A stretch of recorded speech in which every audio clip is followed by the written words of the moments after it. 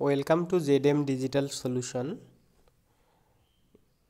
In this video, I will show you how to hide apps from your home screen. Let's start the video. So here you can see here um, here in my home screen YouTube, Messenger, Facebook, FlexiPlan, Chrome, such as many other apps. I want to hide some of these apps to make this feature first of all you need to go to settings of your phone. Then here search for hide s i d e hide. You can see here the option hidden apps click on this. Then here the apps list you have installed in your phone. See here is the apps. I want to hide WhatsApp from home screen. First I see you. I will show you here my WhatsApp has some messages and calls.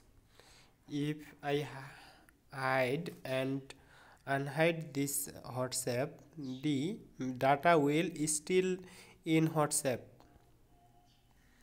So first make hidden apps. I am hiding WhatsApp. Then Facebook then instagram messenger mygp opera mini okay here is the apps i have hide so let's go to home screen to show the apps hidden or not. Here you can see the apps are still hiding. In home screen the apps are not finding okay here here you can see.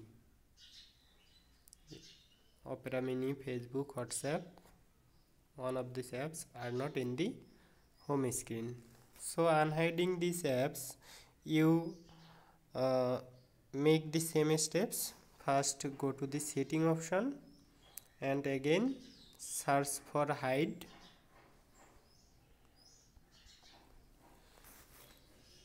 then go to your hidden apps and untick the hidden apps.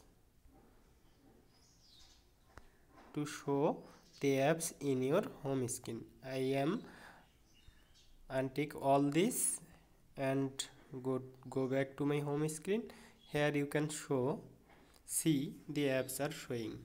Here whatsapp facebook instagram messenger and all the apps i am hiding and unhiding are showing in the home screen.